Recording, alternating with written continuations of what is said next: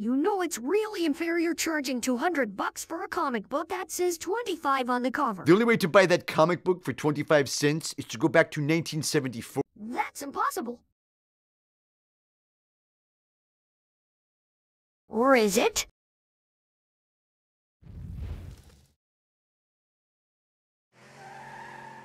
It's about time, it's about space, about two men in the strangest place. It's about time, it's about flight, traveling faster than the speed.